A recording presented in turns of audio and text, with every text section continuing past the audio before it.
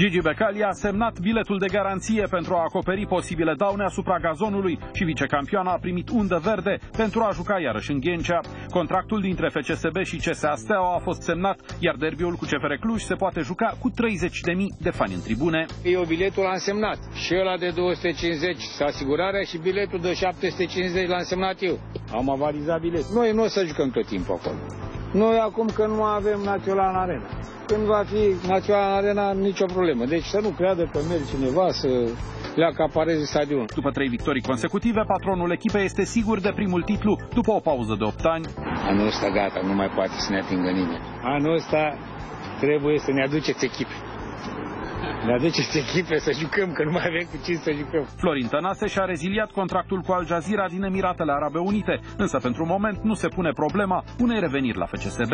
E o ofertă prea mare. Altfel, așa avea de gând să vină. Dar are o ofertă prea bună. Și eu l-am, am să-i dau un sfat și eu l-am îndrumat să plece. Încă doi ani. După aia jucător și antrenor secund.